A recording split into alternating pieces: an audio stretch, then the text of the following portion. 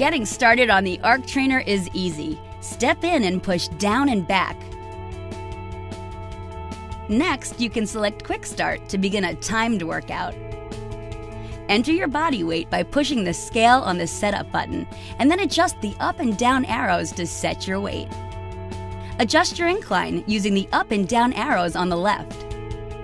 And adjust the resistance and you're ready to go. For maximum calorie burn, look for either watts or calories per hour. The higher those values, the more calories you'll burn. Try to strive for 110 to 150 strides per minute. You can also use the program mode for customized workouts designed to meet your fitness goals. See the other Arc Trainer apps to get more out of your Arc Trainer workout. Visit arctrainer.com to learn more.